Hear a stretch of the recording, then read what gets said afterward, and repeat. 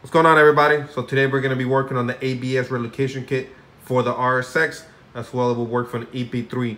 So what the kit allows you to do is to put your ABS system on the windshield cowl. It removes it from the stock location. So I'm going to be breaking down the kit um, that you'll be getting once you order one.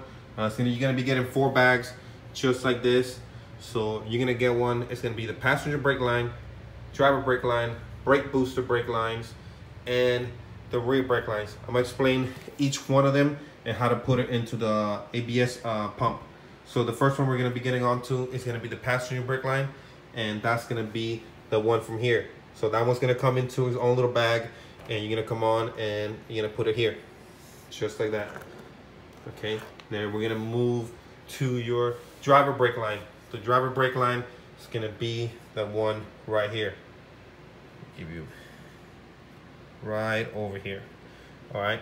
So now we're gonna move to your brake booster brake lines, and those gonna come into that bag, and it's gonna be right over here. These two are gonna be for your brake booster.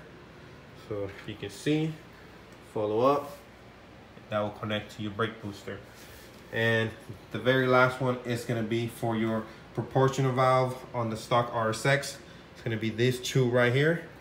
I'm gonna follow them up come to those fittings right there and into that.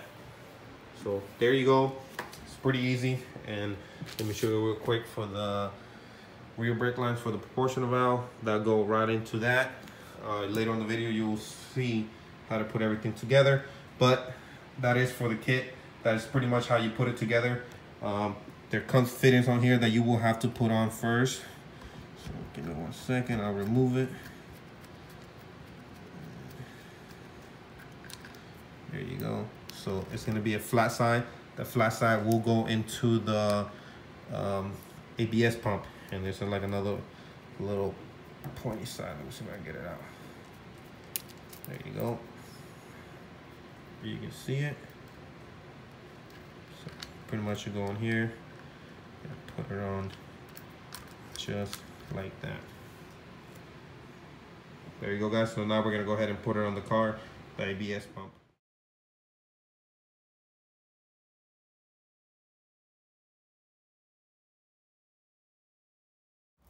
So the way I did this, I went and made the hole, of course, and then I insert the fitting with the line because I turned out to be, if I did it without the line, it was really difficult after to put the line on the fitting. And let me show you what I'm talking about. And as you can see, it's super, super tight to come after and put the line, oops, sorry, onto the fitting because it sits super, super nice and tight okay? So my recommendation is go ahead and tighten the, uh, the line onto the fitting come on and slide the fitting through the hole and after use the little uh, nut and go ahead and tighten it all the way through just like you would like right here just like that. Sorry I'm doing it one hand but you get the point. You're gonna go ahead and slide all the way through and then tighten it with a 13 millimeter socket just like that. And then after you come with your passenger brake line and go ahead and tighten it all the way.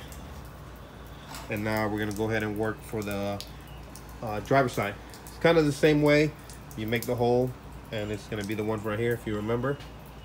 This one. So I already know the line comes all the way over there. It's the one right here. You're gonna make the hole right in this little spot right here. Just like that. Let me show you a little better. You're gonna feel a little, little lump right here. It's gonna be the one right here in this little spot. You're gonna go ahead and do the same way to the other side. And let me show you what I mean by that. So you're gonna make the hole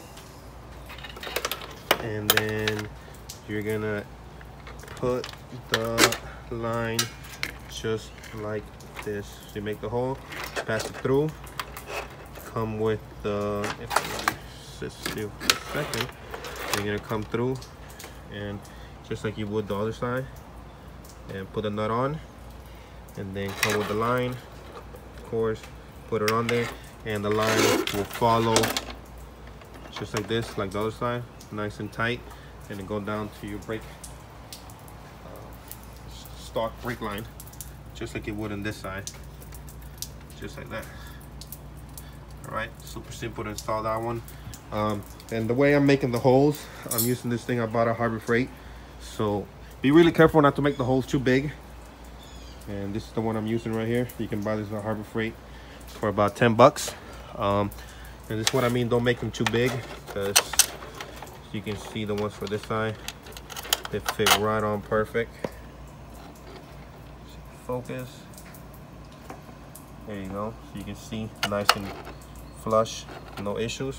All right so now that you know the driver's side and the driver's side jesus christ. Driver's side and passenger side you already know which line's gonna go to what. We're gonna go work on the uh, proportional valve the one i was talking to you guys about earlier that one right here. So this line right here will go to the front of the proportional valve this thing jesus focus. The one right here. It's gonna go to the front of the valve right there.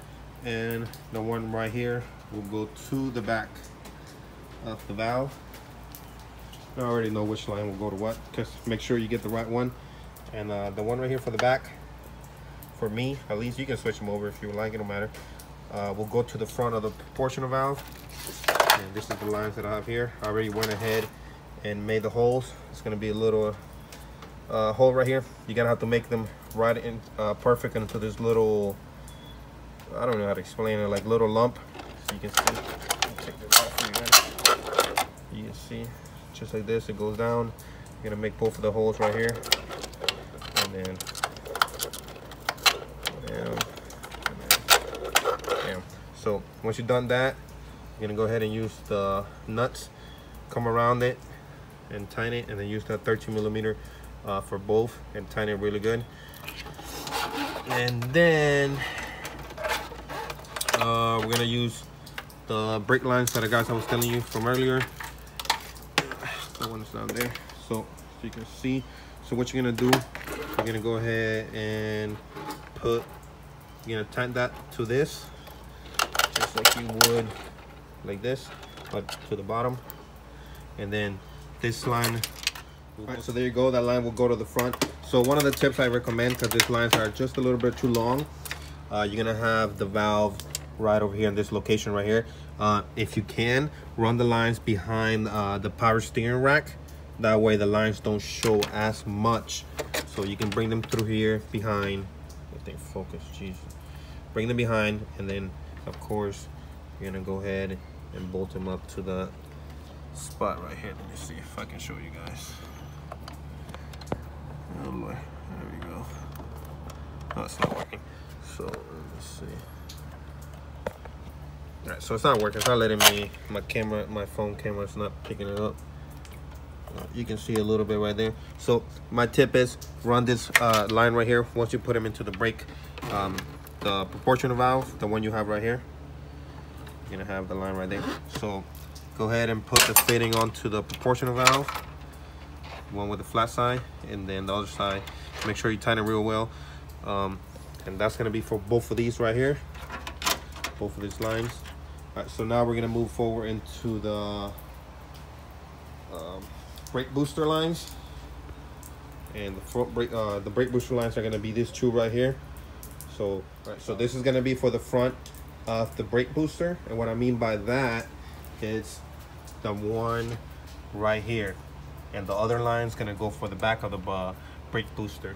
So let me show you guys real quick. It's Gonna be for the front of the brake booster, like I just said, and this is gonna be for the back. So I went and followed the lines through, follow the lines through, brought him here, made the hole like I did to the other spots. So you can see, just right here, there's gonna be a little hole you can see right here, so you guys can see better. And I made them right into those little spots. And give you guys there you go.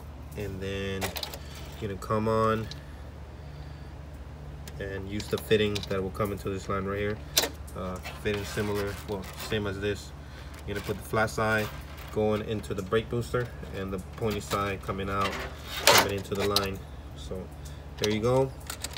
And one to the back so that's pretty much the only thing you're gonna see from the uh, ABS relocation kit everything else is gonna be nice and tucked away on the windshield cowl if you do have um, of course if you still have uh, wipers just be uh, careful when running the lines because I do not have uh, windshield wipers on my car anymore. I went and took all that stuff out of here. So when you do run the lines, um, I know many people have run them through behind this little bracket right here. That way you have a lot of room for the, the lines not to be touching none of the wiper stuff. So there you go guys. Uh, the kit is, I think it's pretty straightforward installing it. Not too hard. Uh, if you have to rewatch the video, um, I recommend it so you guys take a good note uh, where all the lines will go. Try not to mix any of the lines that go through here. Like don't put the front line in the back of the brake booster because this is for the front, this is for the back. So don't switch lines and be messing things up because that will cause situations with your brake system. So, so you can see, let me show you. The windshield cowl does fit perfect and you don't see any of the lines so the last very last thing, uh, thing you will have to do you're gonna have to extend uh, the wiring system from here to the brake booster so your um, ABS system still works so you have no issues. So um, I've seen a few people make little holes into right here and uh, and run it through and connect it to your ABS system into right there. So do note uh, use the same uh, wiring gauge uh, for when you extend the wires. Don't use anything thin uh, too thin. It's better to use something uh, more uh, thick than something too little because that will make wires hot later on when you are driving your car. You don't want to have no fire or any sort of any sort of mistakes that can cause your car to get on fire. So be really careful when you do extend the wires. Like I said uh, if you can use thicker wire than the one previously but if you already have the same wire go ahead and use that. But uh, there you go guys and there you go there you go guys. So you can see? This is what I was meaning. Those are the only two lines you will be seeing. There you go. Thanks for watching guys. Any questions please ask. Leave in the comments. As always you can contact me through my instagram right there